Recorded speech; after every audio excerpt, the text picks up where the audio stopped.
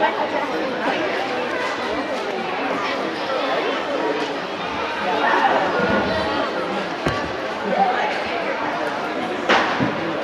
right, for your halftime entertainment tonight, you guys get the privilege of dancing with our Golden Plains dancers. We had camp this morning, 9 to 12, and these ladies did a really good job. So I hope you enjoy the show.